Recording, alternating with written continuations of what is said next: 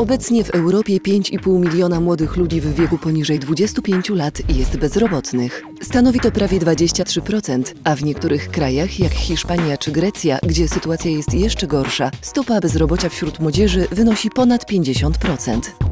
Istnieją jednak pewne rozwiązania jedno z nich to gwarancja dla młodzieży.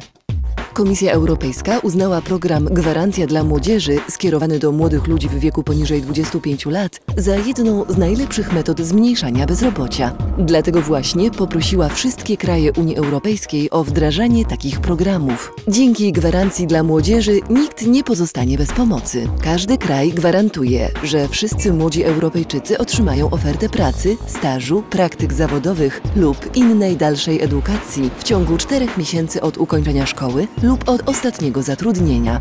Niektóre kraje, jak Finlandia i Austria, już stosują takie programy i to działa. Sposób realizacji takiej gwarancji może różnić się w zależności od kraju. Nie istnieje uniwersalny model, który odpowiada wszystkim. Liczy się jednak wynik. Żaden młody człowiek nie pozostanie sam bez wsparcia lub szansy na znalezienie dobrej pracy.